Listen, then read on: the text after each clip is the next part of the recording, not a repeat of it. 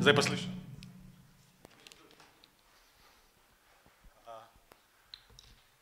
So uh, we'll start with the last uh, final panel for today. Uh, and it's three speakers. Uh, first one is Mirt Bezlai uh, of Torture and Despair. Uh, then uh, Kamil Bera and uh, Primoz Krashevets. So uh, the floor is yours, Mirt. So actually, um, yeah, the, the, the title actually uh, represents more the process of writing this paper than uh, the theme of it, because it was written tonight and um, at 7 o'clock in the morning, so it's full of mistakes, and at some point I forgot how to uh, write in English, I think. So um, I'm sorry for all the mistakes. Um, well, the most common question uh, every uh, metalhead is frequently asked is uh, how can we listen to this terrible noise that is uh, black metal? And although this question may seem a bit naive at first, uh, it's actually, I think, a pertinent one. I mean, indeed, why, why do we listen to this?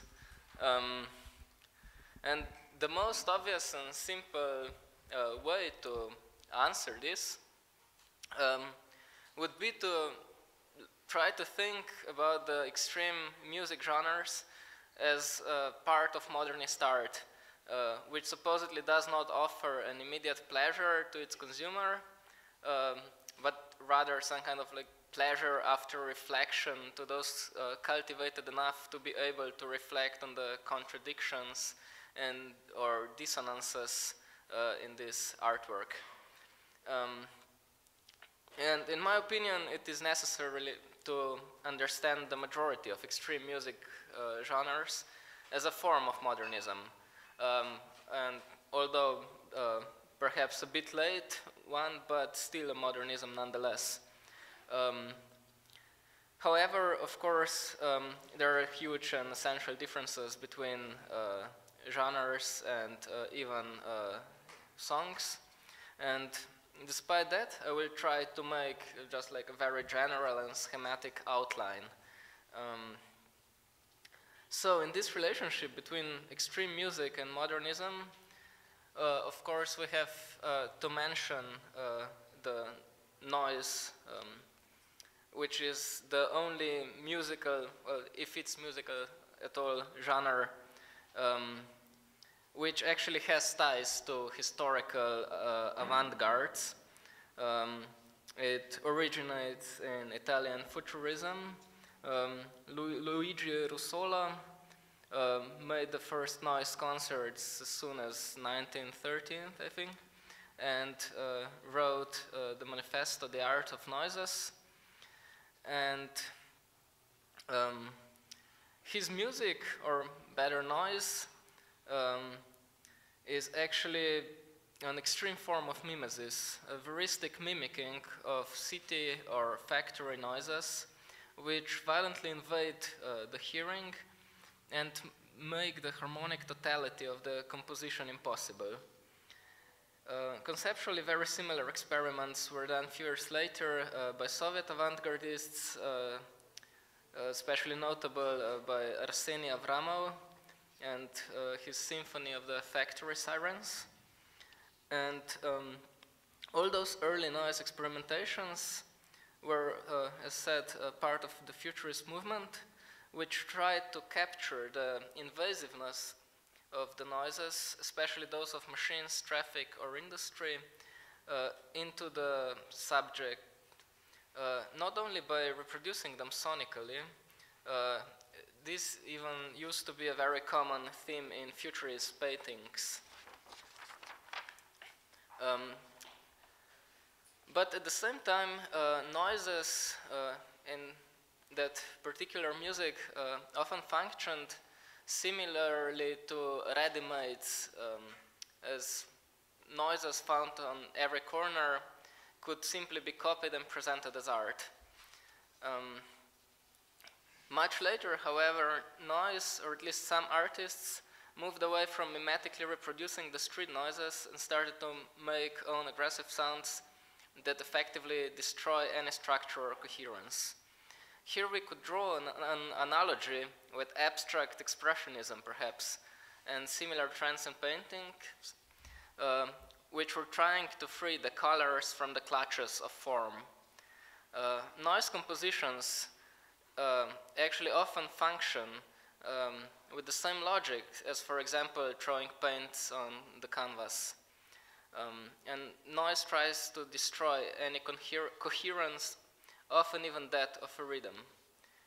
If thus the goal of noise is the destruction of a form, it must be admitted that metal, and I mean mainly black and death metal and uh, grindcore, is in this respect without a doubt much more conservative. But perhaps uh, precisely because of this, it is more interesting. Uh, the destruction of the form is actually quite simple, and after it happens a couple of times, it ceases to be fascinating. Uh, what metal wants instead is to find a form of destruction.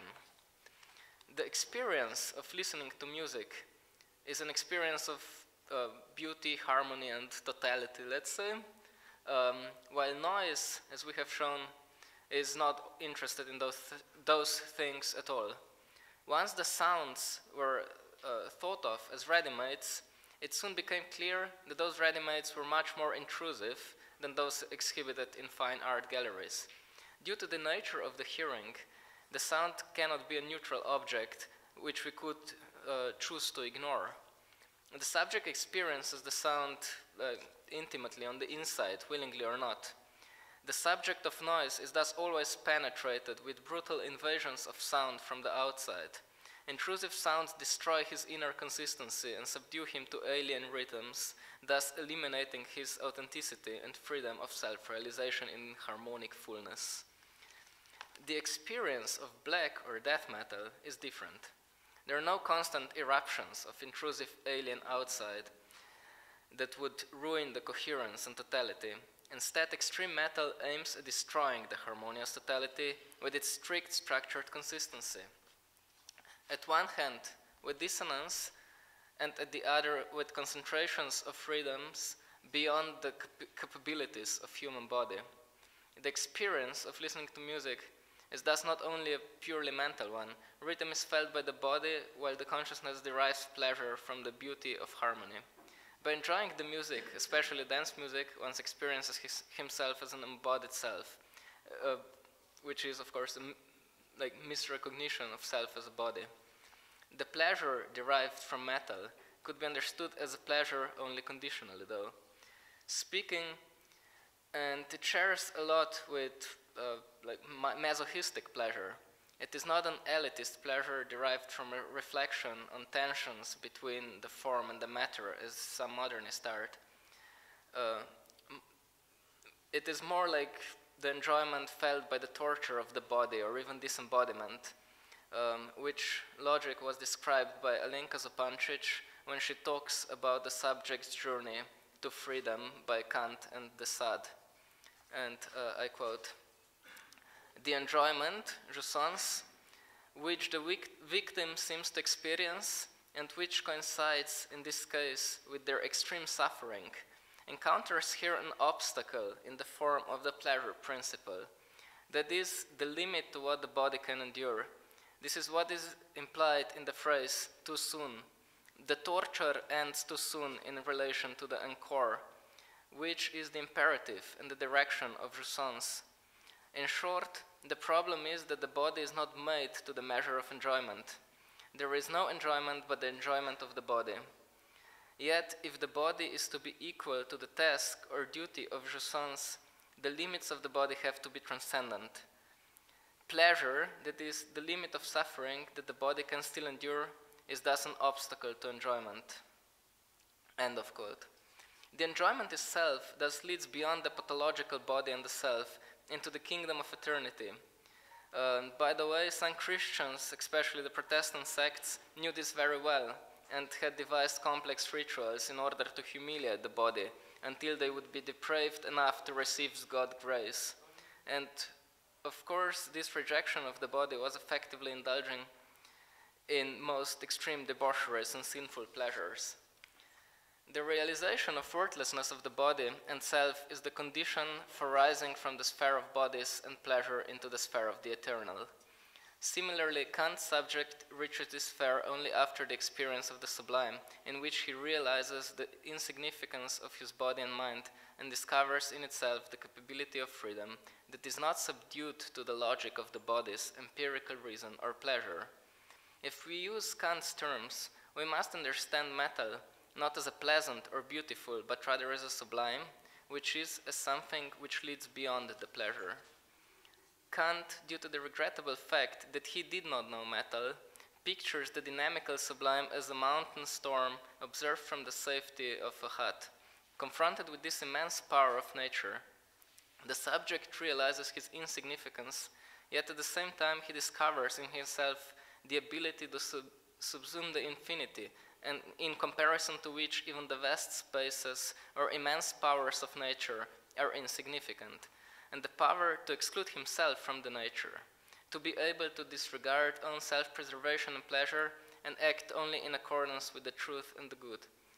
Kant mentioned as a possible example of the sublime war, and as we all know, black metal is Krieg, and visibly, uncomfortably, blasphemy, although he immediately proceeds with attempts to prove that blasphemy is not the true sublime. His proofs are here a bit dubious. The ethics of the sublime does, by its own inner logic, lead to diabolical evil. The more a deed is exempt from sense, the more it is without reason, the more sublime it is. No wonder that the enthusiasm for blasphemy and total genocide is a common theme in black metal. The experience of listening to metal does indeed seem to be analogous to the sublime, Perhaps it could be said, of course, only very schematically, that grindcore and death metal mostly function as a dynamical sublime, focusing on the humiliation of the body, uh, not only with its lyrical themes, but with direct torture of the body represented with blast beats that enable speed and intensity of rhythm beyond the rhythms that the body can normally endure. Although the more primitive parts of black metal focuses on the sinful pleasures of the body or its insignificances or insignificance in the blizzards as well, more refined black metal often functions as mathematical sublime, conjuring sterile coldness of stars and vast spaces. A humanist part of modernism was also rejecting with disgust the spheres of bodies and materiality, and saw the meaning of existence only in the immateriality of music, the best example, of course, of this is uh, the jazz as uh, represented in Sartre's Nausea. However, metal does not provide salvation in the form of meaning, harmony, or higher beauty beyond physicality. It is dissonant and ugly. Instead of escape from physicality into eternal truth and goodness, the eternity represents only nothingness and horror without meaning or harmony. Metal is thus closer to Kafka than to Sartre.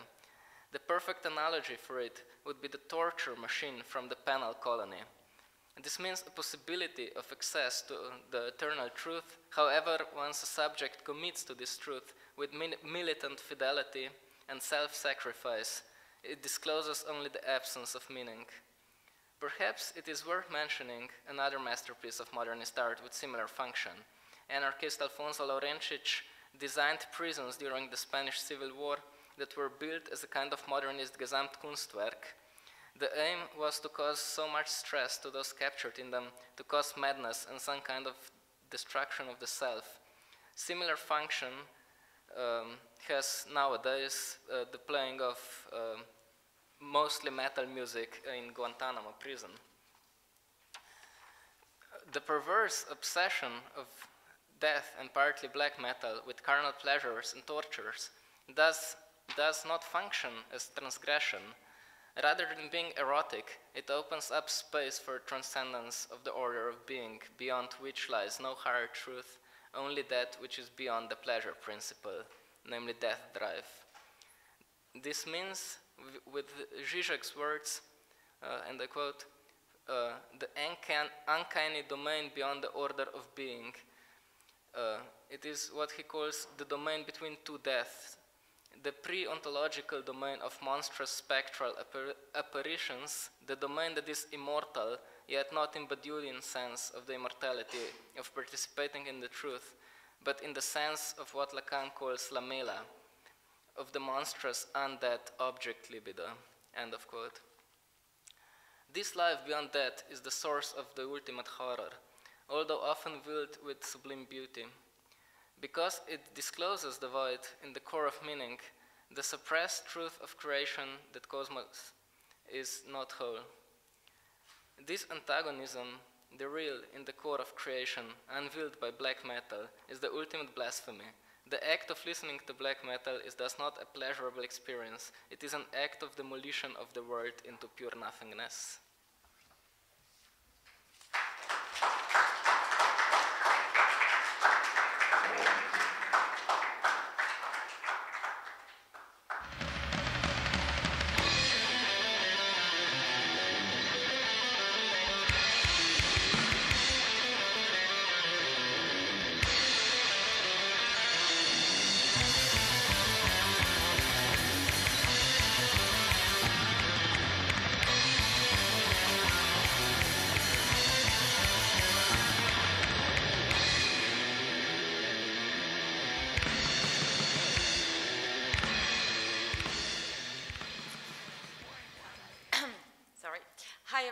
So my name is Camille Bera, um, and today I'm going to say a few words about uh, um, black metal. Why does it sound so gloomy?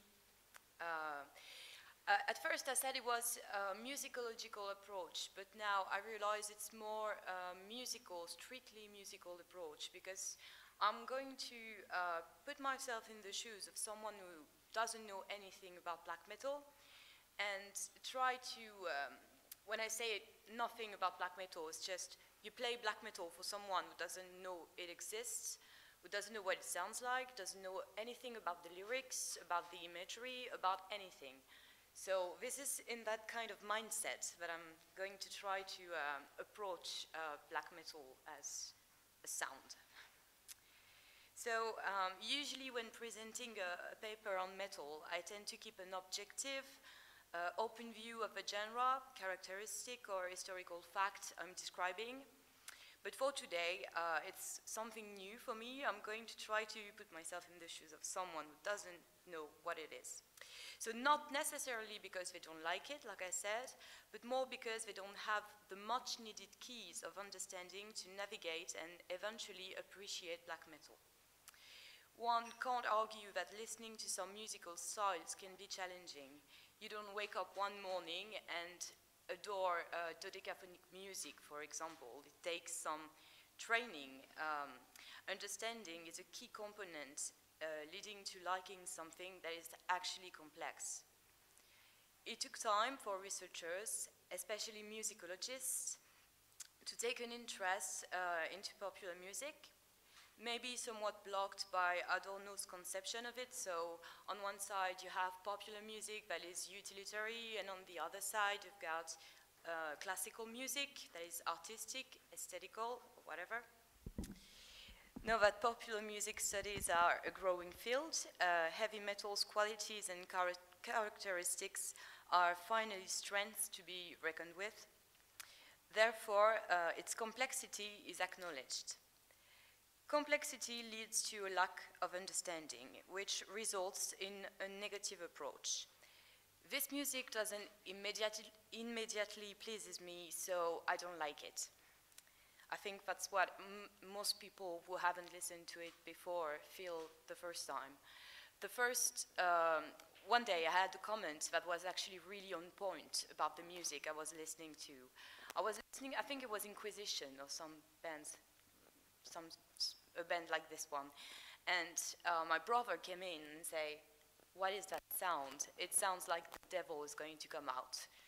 And it was really on point, especially because it was Inquisition. So within black metal, several factors are leading to that perception for the non-seasoned listener. Here I'd like to present these factors from the least challenging uh, in my opinion, uh, to the most challenging. So uh, the first one would be the structural and harmonic melodic factor. So much like classical music, length uh, is an important factor.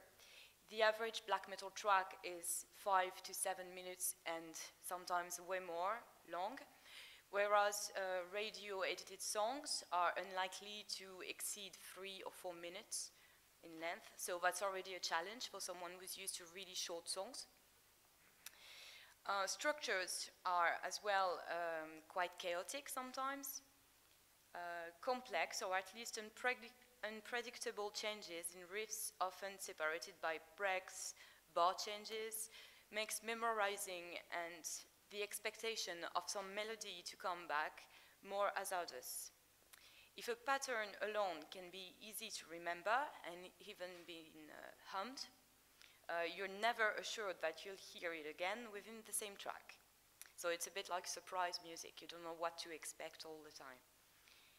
Um, the traditional uh, chorus, verse, chorus structure is most of the time completely abandoned. So the listener loses uh, his um, landmarks. He doesn't know where he is anymore. Considering harmony and melody, everyone who studied music at school uh, knows that minor scales are to be recognized by children, are described as sad or um, melancholic, whereas uh, major scales are um, linked with happiness, uh, energy, and so on. So, um, for example, uh, I've chosen uh, a, a, song from a black metal band Kampfar. Uh, the album is Mare, it's from 2011. So the song is Bergtatt. So they did two versions of this song. There's an original album track version, and there's a bonus track version, which is uh, in a major scale. So I can play a few uh, pieces of that. So the original one, if it works. You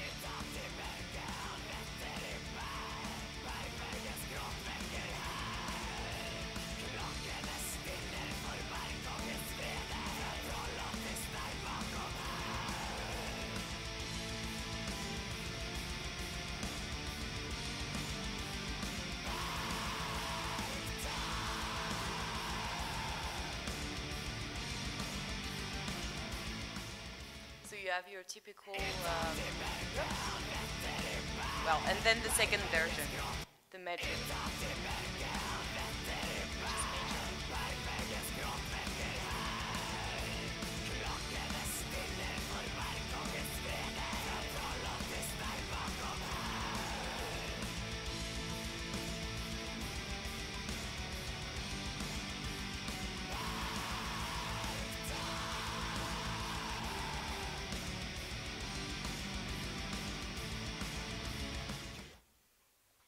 I don't know what you think, but to me the second one sounds a bit like a Christmas song with a black black metal vocals on it. It's it's not right. You don't know why, but it's not really right. So that's because of uh, the scales. So um, as full chords are also uh, generally avoided in black metal, replaced by power chords with no thirds. You don't even get to know if the chord is a happy chord, so a major chord with a major third, or if it's a sad chord with a minor third. In this case, lack leads to negativity. The diminished fifth is also extremely present in black metal tracks. This peculiar chord has been associated with the devil, diabolus in musica in Latin, since the Middle Age, and is still nowadays linked to a negative feeling. That's why it's uh, featured so much in horror movie soundtracks, and of course in black metal. Same for uh, melodic movements involving chromatic progressions found in black metal classics like Darkthrone, Burzum, seminal recordings, and a lot after that. So I can play, um, maybe, probably everyone knows it, but I can play just um, a bit of Freezing Moon to hear the minor, uh, diminished fifth.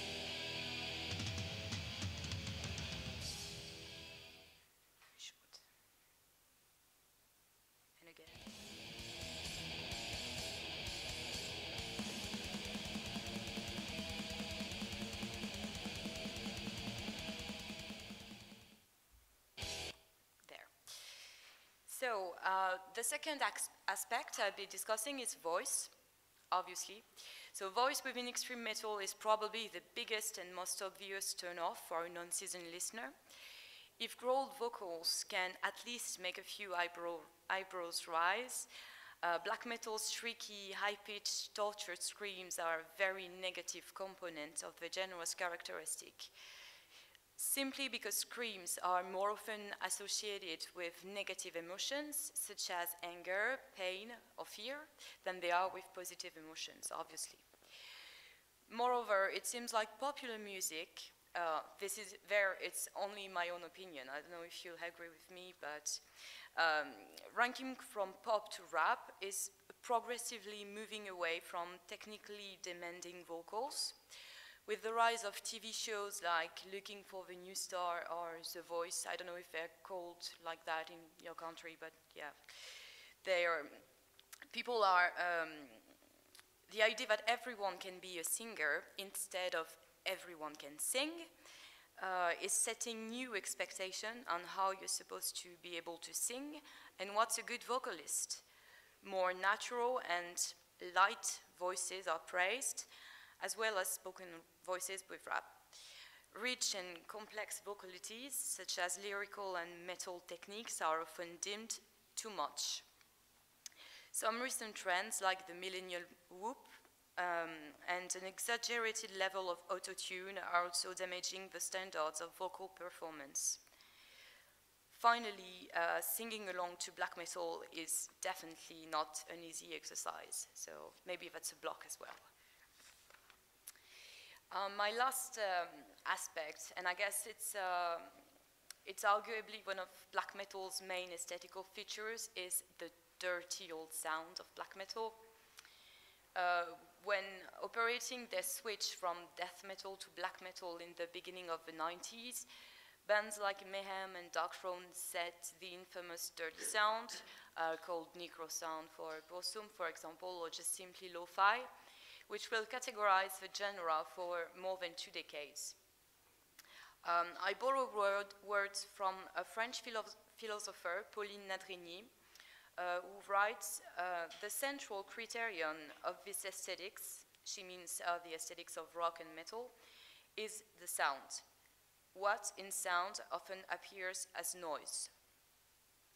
That dirty, noisy sound is what makes black metal stand out, the source of its negativity.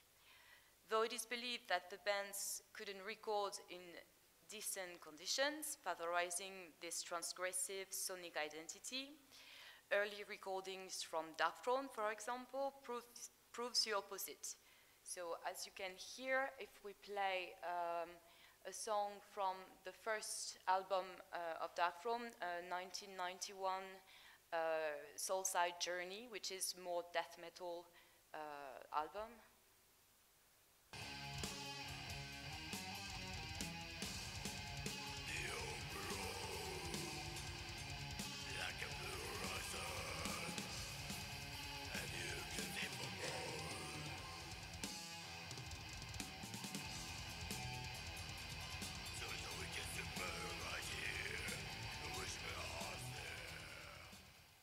So it's maybe not that obvious here, but the sound is pretty clear compared to A Blaze in the Northern Sky, for example, the year after.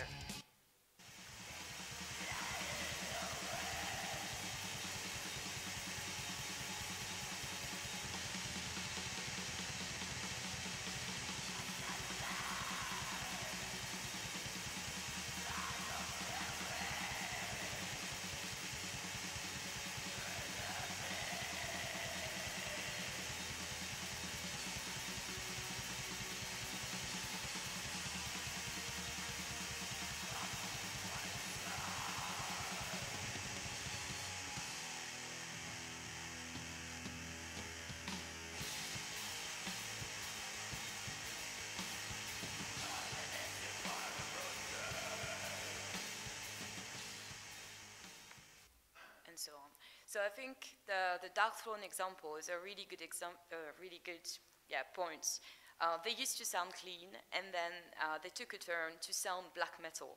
So that really shows uh, this dirty necro sound is uh, main aesthetical key uh, to black metal. And it's probably as well not um, directly, but became within the years uh, designed to scare away people who might take a too close interest into black metal. Thank you.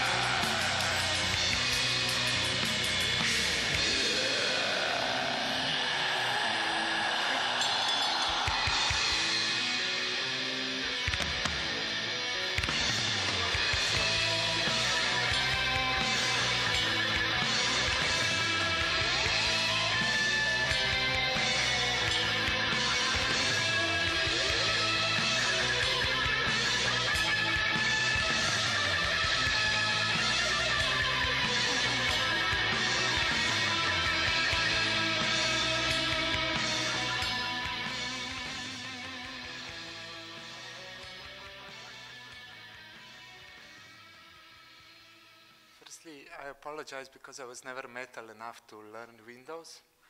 Uh, that's way too hardcore probably for me. So I needed technical assistance for the, for the image.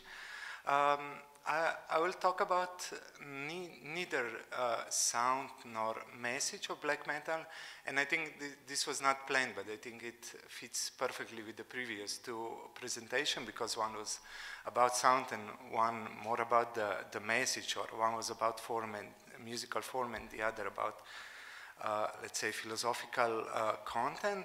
Uh, I will talk about the remains uh, or the leftovers. So uh, about atmosphere and attitude of uh, black metal and why, why they make it both atmosphere and attitude, why, why they're interesting uh, and at the same time how, how are they different or even opposed to, to the rest of metal altogether.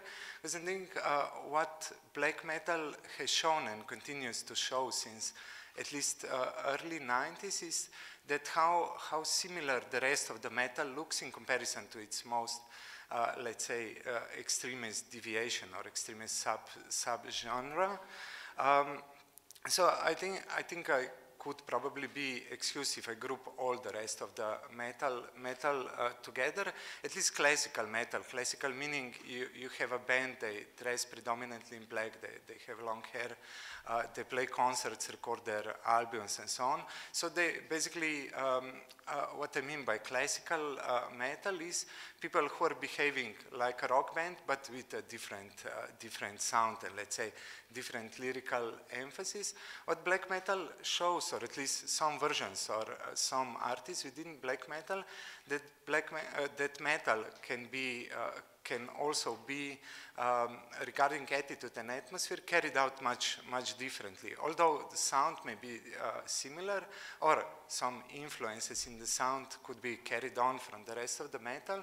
I think what really distinguishes black metal from the rest of the metal is precisely attitude and uh, atmosphere. So.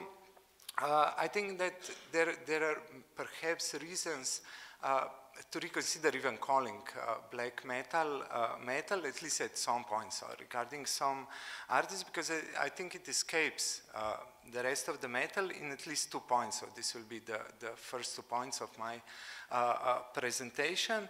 The first will be that black metal at, at a certain point escapes the uh, uh, the very form of a band. So uh, by this I mean these lone misanthropic uh, uh, one one man bands or anti anti bands, creating these lo-fi black metal sounds and songs from their bedrooms or prisons or some other solitary, let's say solitary rooms.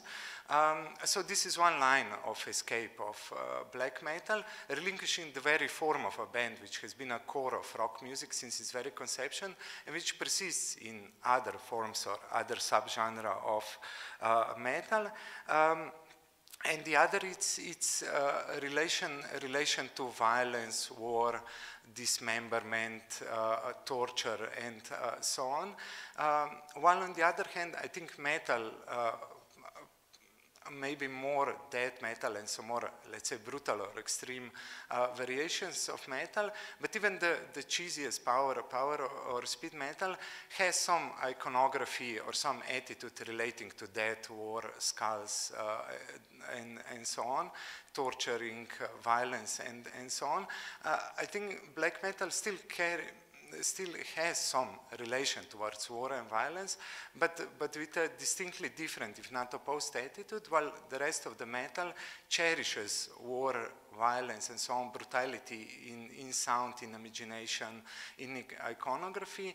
Uh, black metal is more drawn to colder, uh, colder forms of violence or colder dimensions of uh, violence, as in cosmic indifference and so on, more existentialist themes than, let's say, classical fascination with war, confrontation, violence, blood, blood, and so on.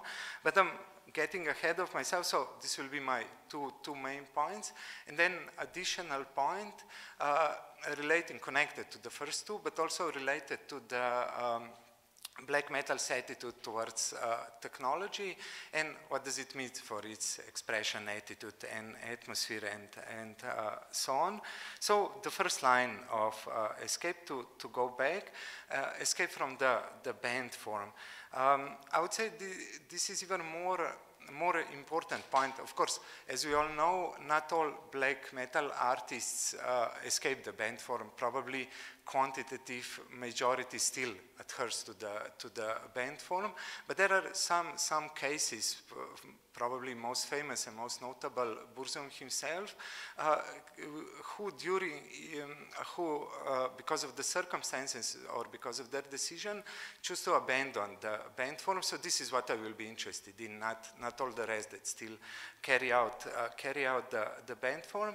And I think this, this is a very important point regarding black metal's uh, atmosphere and uh, attitude, because classical metal always has a certain uh, admiration for community in general or is communitarian uh, in, its, in its orientation, let's say in its uh, fantasies, in its message, in its lyrics, in its uh, iconography, but also in its behavior. So a band, uh, a classical rock band or a classical metal band is always a form of community. And then you have a community of fans which circle, uh, which encircle the band. And then you have a community of groupies and the community of critics and the community of publishers and the community, all, all of these micro communities of roadies and so on, all of these support uh, communities. So like rock music in general, or rock culture in general, and especially alternative versions of rock culture. So is classical uh, metal or typical metal very, very uh, communitarian in its uh, attitude and in its manner of functioning. So you have people who get in touch with other people to form a band to practice and, and so on, to, and then get in touch with other people do things together, tour together, uh, uh, um, record together, and so on. So this is, this is a communitarian aspect of typical metal, which is not very different from communitarian aspect of uh, rock culture uh, in general. And as rock culture in general uh, emphasizes its communitarian aspect as a kind of social, uh, social critique in a sense, in a soulless contemporary society of mindless consumerism, or do a peak of this generic uh, social critique, we can persevere some kind of um, some kind of authentic human uh, uh, bond of some kind of authentic community uh, um, by forming this alternative communities, regardless of the genre. It can be reggae, it can be uh, punk, it can be typical metal, and so on. So you have soullessness of uh, contemporary society on the one hand, and the warmth of community, let's say this alternative. That's, or this is precisely why these communities call themselves alternative, because they're precisely not soulless and cold like the rest of the commercialized and so on corrupted uh, uh, uh world. So um, the, the basic organizational form in typical metal is still, is still uh, band, and also the core of the uh, fantasy or the message or the uh, attitude of typical metal is basically acceleration or uh, driving to the extreme this communitarian aspect that is present in all of the uh, rock, uh, rock culture, which is a fantasy of an organic community. So um, metal is more edgy. So if, if a typical rock band will enjoy their uh, fantasy of uh, organic uh, community, a typical death metal band will push this fantasy to, to its extreme to its extreme consequences. They will fantasize about uh, historical examples, uh, for example, Viking community or a pre-Christian uh, authentic warrior community. Before this Judeo-Christian um, uh, corruption set, in on this noble warrior medieval or ancient, uh, ancient uh, cultures before democracy, mass media, capitalism, and uh, all the bad soulless things that dominate in contemporary society. So you have a, a fantasy of organic uh, community and noble barbaric past. This can be some real historical examples most, most commonly Vikings, or it can be a, fantasy world or so, some, some kind of mixtures uh, uh, between the two. Uh, while on the other hand, black metal uh, black metal's attitude is misanthropic on, on both of these uh, uh, fronts. So in both relinquishing the band as a micro community, which should be a model community, microorganic, uh, closely bonded uh, community, and on the level of imagination uh, uh and message, where it relinquishes all of the or at least interesting black metal or the most uh, advanced or avant-garde black metal also relinquishes all of the nostalgia for barbaric past or noble barbaric uh, past. So, so in, in, black metal there is, a, there is an interesting tendency, I will not say it's dominant, it's probably not, at least quantitatively, um, there's an interesting tendency to, uh, uh, for a classical band form to be replaced by misanthropic, misanthropic loners or sound projects without defined uh, or musical projects without defined authors or personas uh, behind them, or at least where, where the membership is not, membership is not fixed. So, uh, which also means there, there is no classical uh, teenage or post-adolescent drama, which comes, necessarily comes with the, with the form of the uh, band. While on the level of imagination or fantasy, this Vikingish kitsch is more and more uh, replaced uh, by the distance, uh, distance or even disgust towards sociality as such. So instead of a fantasy of organic community struggling against the, the soulless capitalist, Judeo-Christian, whatever uh, uh, world, you have a fascination with precisely soullessness, not just of the world, but the world at large, soullessness of the cosmos or uh, indifference of the, the cosmos. So to, to put it formulaically, I would say at least in its most interesting aspects, uh, black metal develops social anorexia. It's not a, it's not a form of community bonding or social bonding uh, at all, but in, in, its, in, its, most misanthropic or most uh, consecutively, uh, uh, uh, systematically misanthropic aspect, it's, it's more akin to social anorexia, so total subtraction from the, subtraction from the, or withdrawal from the social world, which stands in kind of stark opposition with uh, typical metal or rock, even. To, to put it more generally, uh, rock music, uh, machistic male bonding, predominantly male bonding, uh, so uh, I think this is one uh, this is one really interesting aspect of of black metal because this fantasy, this critique of soullessness of the modern world, and also nostalgia for organic communities are predictably conservative. There's nothing really interesting or uh, extreme about it. Well, the sounds, let's say, of death metal and so on, might be extreme, might take some getting used to and so on. Uh, let's say its attitude is very predictably and I would dare to say boringly uh, conservative. In, in a sense, community is better than rootlessness and uh, um, uh, knowing where you come from is better than cosmopolitanism and, and uh, so on. And Vikings were cool and long hair is cool to, to caricature uh, a little. Um, so, so I think this kind of uh, anorexic, misanthropic uh, approach, uh, regardless of our attitude towards it, if we support it, if we like it, and so on, it's at least more interesting, uh, less predictable, uh, less predictably uh, con conservative.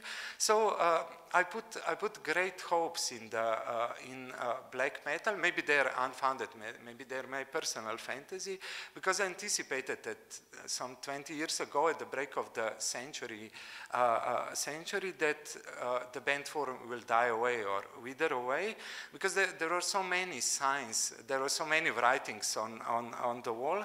At the one hand, you had the figure of a DJ. So uh, again, a loner, but not socially anorexic loner, socially very popular loner, but the person with its laptop in its, in its uh, in this person's laptop the general intellect of the whole of electronic uh, music. So he had this like alienated, uh, heavily technologically mediated approach or relation between human person and uh, musical world. And this was fascinating. And for me, because I, uh, this was my visual thinking, it signaled the, the death toll of the, of the uh, band form. On the other hand, you had projects from, uh, from the uh, jazz musicians, which never really liked the, the band form so much, so they formed these loose associations or uh, projects to the Wu-Tang Clan of the 90s, which also had flexible membership, uh, was very conceptual, was very conceptual and so on. So, so you had all kinds of signs that the band form might be withering away, but it never happened. It, it, it survived the DJs, it survived the, the clans and the project. So uh, put my last hopes on uh, black, black metal. The history, history will tell whether it be successful in its, uh, um, uh, whether it be, will be victorious over the, the band form. So, so in this hikikomorish uh, withdrawal, social, social anorexia, and now, now for my se second point, so the first was uh, community of typical metal versus social anorexia of at least some versions of uh, uh, black metal. Uh, now relation towards violence or violent uh, fantasies, violent uh, imagination and imagery. Uh, if the horror imagination of classical or typical uh, metal um, um, is founded on the, uh, at the same time, scare, the, the scariness and at the same time uh, fascination or attractiveness of uh, violence, uh, war, war and so on, of spill, spilling blood, mutilating corpses or living creatures, I, I, would call this fascination or this kind of imagination or fantasy hot horror because um, the blood is squirting everywhere, the, the bodies are still kind of uh, kinda warm, the, the, heat of war or the heat of battle and, and so on. So, so um, uh, to use this uh, McLuhan's distinction between hot and cold media, this was this, this would certainly be hot uh, hot uh, horror. But as opposed to this, of course, uh, uh, black metal is also very much into horror, demons, uh, uh, and, and so on.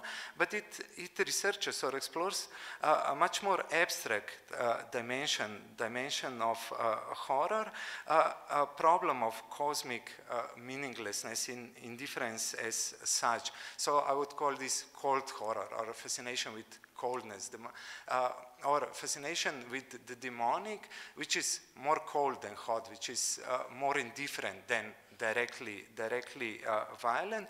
So what, what black metal is interesting, interested in, and the reason why I'm interested in uh, uh, black metal, because it's less, less predictable, um, what black metal is interested in is, is violence or horror, but not as a relation between something that is hostile uh, to us or aggressive uh, uh, to us, uh, not as a relation uh, towards something, something we fear and something we fight against or struggle, struggle against, because this still means some kind of a relation, although it's antagonist. If we had if we are at war with something or fighting something or defending ourselves against something, we still form some kind of antagonistic uh, uh, relation.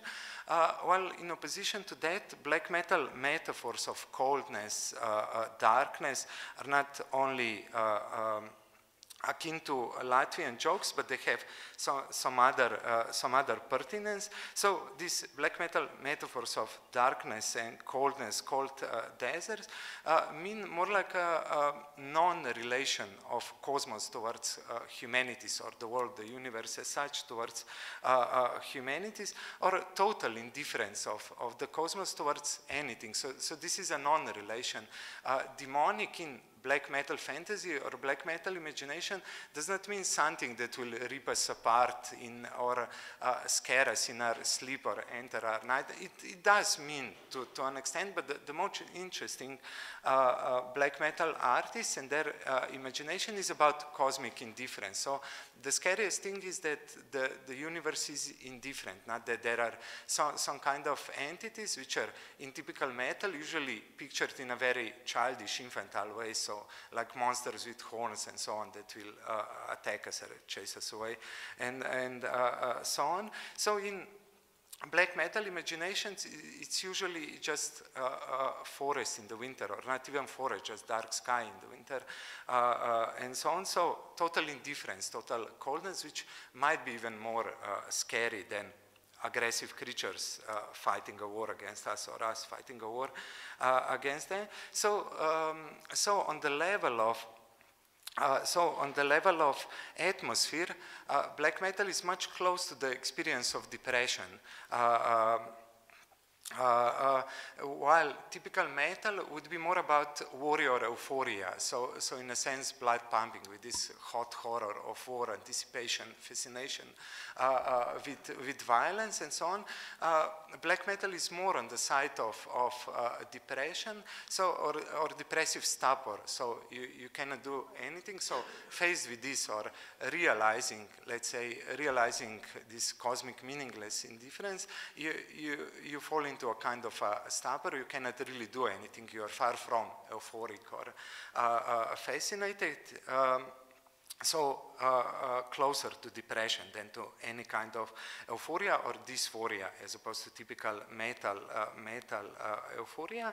And now to, to my second point, I think I took a lot of time more than previous uh, presentation.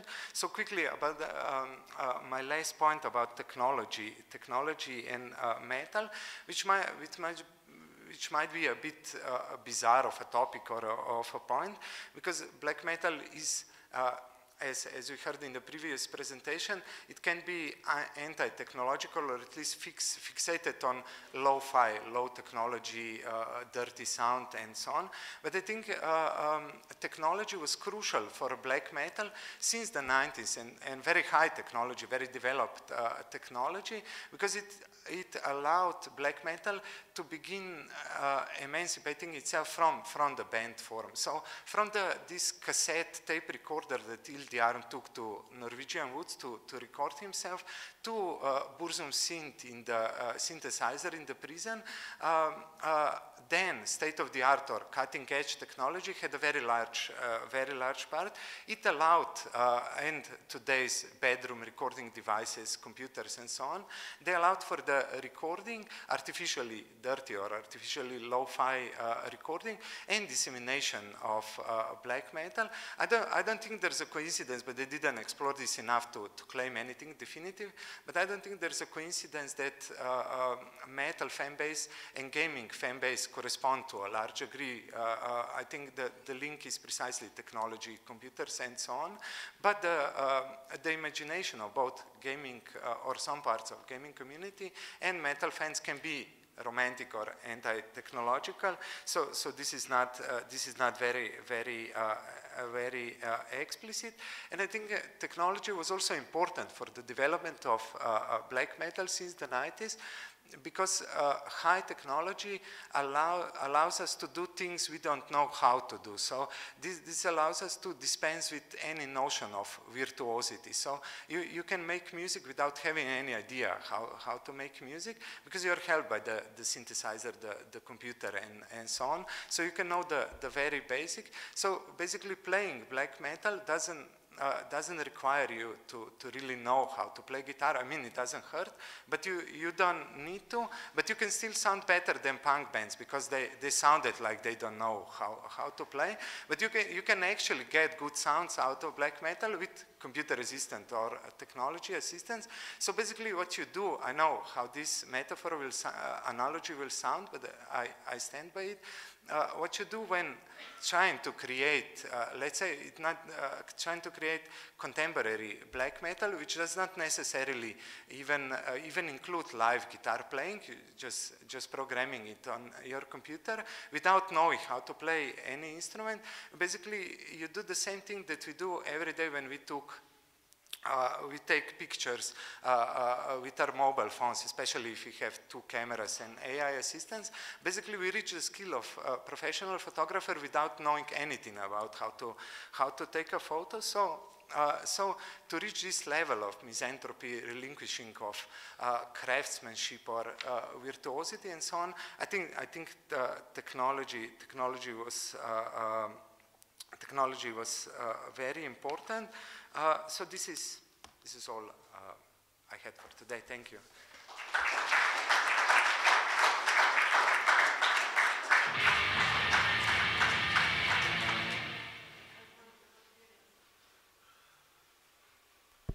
Uh, thank you to all the speakers. So it's time for uh, questions and comments. So. Anybody?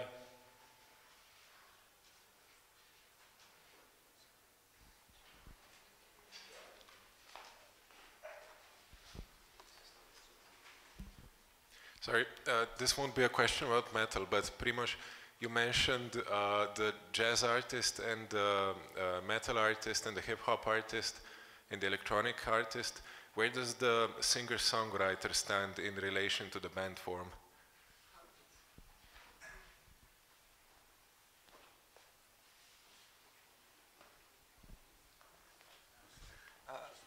Think that, that's a very good uh, that, that's a very good observation because you, you can say that from the 60s you, you also have like these loners that drop out of the, the band form and just, just become folk singers uh, uh, and just just one person with, with a guitar and so on. Uh, that's also some, some kind of uh, withdrawal. So or maybe re, uh, reverting to some kind of older forms before before the band when you actually had these fo traveling folk singers with their uh, uh, guitars.